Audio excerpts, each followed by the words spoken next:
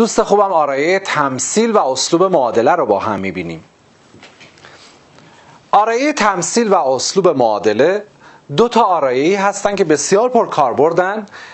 هرچند که تمثیل کمتر از اسلوب ولی بسیار آرایه های زیبایی هستند که زیبایی سخن میآفرینند اسلوب معادله.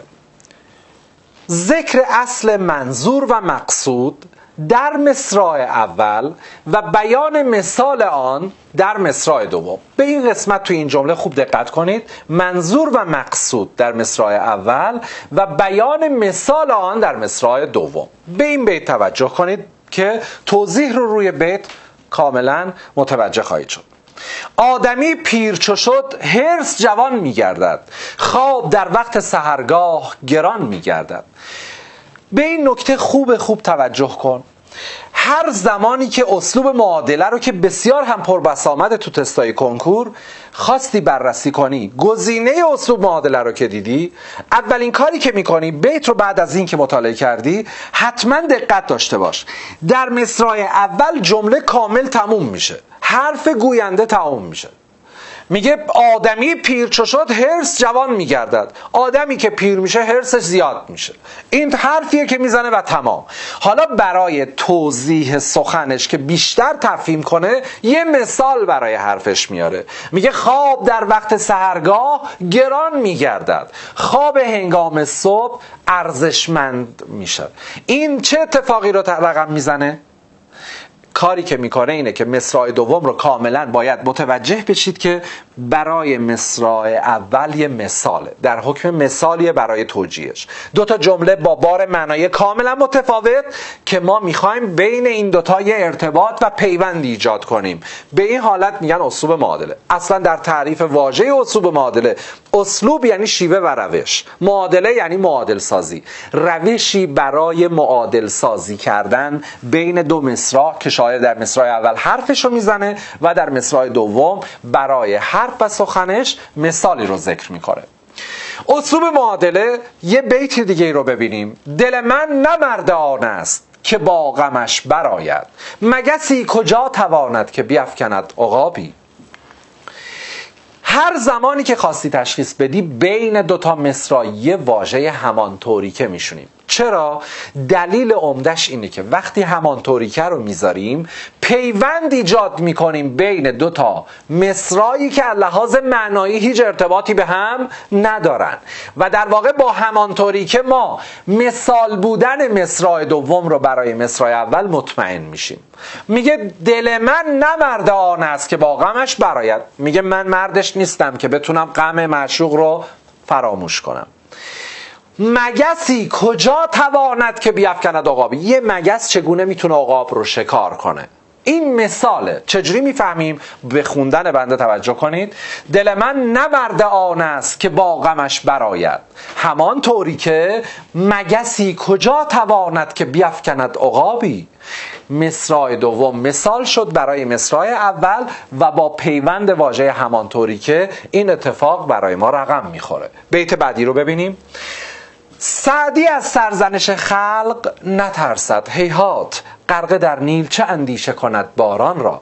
یه همانطوری که این وسط میشونیم میشه سعدی از سرزنش خلق نترسد هیهات! همانطوری که غرقه در نیل چه اندیشه کند باران را؟ مصرع دوم اندیشه کردن از باران یعنی ترسیدن از باران شدید. برای کسی که تو نیل داره غرق میشه اهمیتی نداره. پس در مصرع اول هم میگه سعدی هم از سرزنش مردم نمیترسه. مصرع دوم برای مصرع اول شد. مثال. مثال دیگه ای رو ببینیم. موی در شیر خالص زود پیدا می شود. عیب پاکان زود بر مردم خویدا می شود. میگه همانطوری که مو درون شیر خیلی سریع پیدا میشه آشکار میشه و دیده میشه عیب مردم هم خیلی زود آشکار میشه. شرایط اصول داره برای اصول معادله راه های مختلفی هستش که تشخیص بدیم.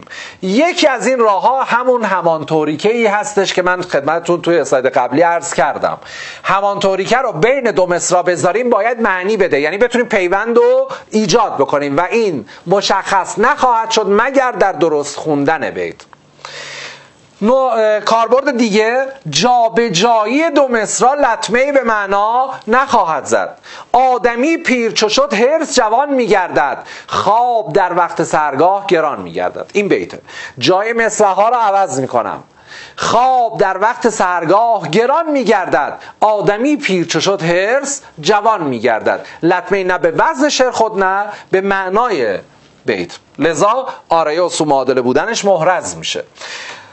برای تمامی مثال های موجود در مصرع دوم می‌توان اصلی در مصرع اول یافت. یعنی چی؟ وقتی میگه آدمی پیر چو شد هرس جوان میگردد آدم اصل اول هرس اصل دوم. در مصرع دوم خواب در وقت سرگاه گران میگردد. خواب مثال است برای آدم و بعد خواب در وقت سرگاه گران میگرد گران بودن برای جوان مثال محسوب میشه میشه برای اون مثال اصلی رو در مصرای اول یافت. آرایه بعدی ما تمثیل هستش. آوردن نمونه یا مثالی است برای بیان توجیه و تایید سخن.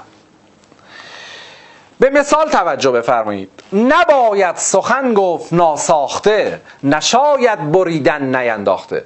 اگر حضور ذهن داشته باشی این بیت از درس پروردگویی سال چهارم برای شما انتخاب شده.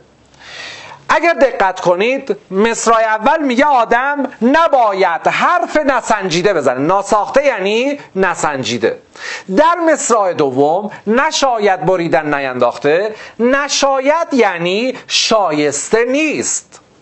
بریدن یعنی برش زدن. نینداخته یعنی اندازه گیری نکرده. اگر یک تعمل کوتاه داشته باشید به ضرب المثل هایی که در کتاب های درسی اول تا چهارم دبیرستان در متن کتاب های درسیتون دیدید به ضرب المثل گز نکرده پاره کردن. گز کردن یعنی متر کردن اندازه گیری کردن. پاره کردن یعنی برش زدن. مراجعه می‌کنید به خیاطی لباسی رو برای دوخت می‌دید. وقتی که لباس پارچه رو ارائه می‌کنید میگی که عجله دارم اینو سریع برای من بدوزید. خیاط وقتی که می‌خواد پارچه رو برای شما تبدیل به لباس کنه اولین کاری که می‌کنه اندازه گیری می‌کنه. اندازه ها رو می‌گیره بعد روی کاغذ روی کاغذ الگو پیاده می‌کنه کاغذ رو پارچه خط می‌کشه برش می‌زنه کوک می‌زنه پرو می‌کنید بعدش میدوزه. حالا چگونه میشه که شما روبروی خیاطی بیستید قیچی رو برداره پارچه رو برش بزنه چرخ کنه بگه این لباس شما آماده شد؟ خب همون گونه باز همانطوری که در تمثیل هم مصداق پیدا می‌کنه. همان گونه که پارچه رو قبل از اندازه گیری نباید برش زد حرف و سخن رو هم باید بسنجیم. اندازه گیری کنیم چی می‌خوایم بگیم؟ تا سنجیده سخن گفته باشیم. برای حرفش یه ضرب المثل ارائه می‌کنه. اگر برای حرفش مثال بیاره میشه اسلوب معادله. ولی اگر مثالش ضرب المثل باشه میشه آرایه تمثیل یا ارسال المثل که نام دیگرش ارسال المثل هستش. تمثیل رو با یه مثال دیگه ببینیم. توسنی کردم ندانستم همی. که از کشیدن تنگتر گردد کمند. توسنی کردن یعنی سرکشی کردن. میگه در برابر مصائب روزگار سرکشی کردم. نمی‌دونستم که برای تفهیم حرفش یه ضرب الوصل میاره. کمند رو پرت می‌کنی. وقتی که نگه میداری گره تنگتر میشه. میگه نمی‌دونستم که هر چقدر که مقاومت کنی حلقه بر تو تنگتر میشه. سختی بیشتری بر تو آرز میشه. پس وقتی که بکشی حلقه کمن تنگتر میشه. یه ضرب المثله. شاید به ذهن شما این گونه متواتر بشه که ما که ضرب ها رو همه رو نمی‌دونیم. از کجا به تمثیل بودن یه بیت پس واقف بشیم؟ تو این مجال کم هم که نمیشه همه ضرب ها رو آموخت. دوست خوبم ضرب ها فقط در حیطه کتاب درسی. از سال اول تا چهارم دبیرستان رو در بر می‌گیره. هر آنچه که به عنوان ضرب المثل علل خصوص در توضیحات پایان هر درس بهش اشاره شده در واقع راهنمای خوبیه برای اینکه شما بتونید به تمثیل در آرایه های ادبی پی ببرید. دوست خوبم آرایه تمثیل و اسلوب معادله رو خدمت درس کردم.